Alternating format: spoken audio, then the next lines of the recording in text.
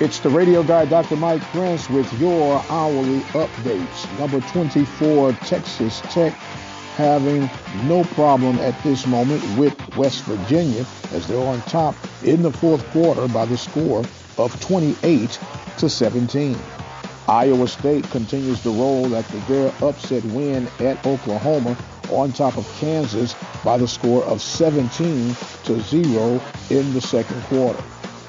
From the world of the Mid-Eastern Athletic Conference in the first quarter, Morgan State having no problem with Savannah State winning by the score of 21 to 7. Southwestern Athletic Conference game scheduled for today, a must-win game for the Prairie View A&M University Panthers as they're on the road in Lorman, Mississippi, taking on the Alcorn State Braves. That game is slated for 2 p.m.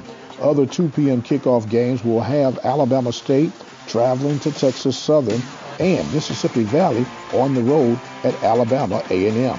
And a must-watch game from the world of the SIAC and the SWAC, the Tuskegee Golden Tigers will do battle against the Jackson State Tigers at 6 p.m.